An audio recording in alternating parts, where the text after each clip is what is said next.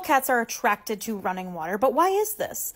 It is said that cats find running water more clean, and out in the wild, they could hear running water easily versus stagnant water, obviously, so they were able to find their water source better. This is why cats find a fountain enticing and fun to drink out of.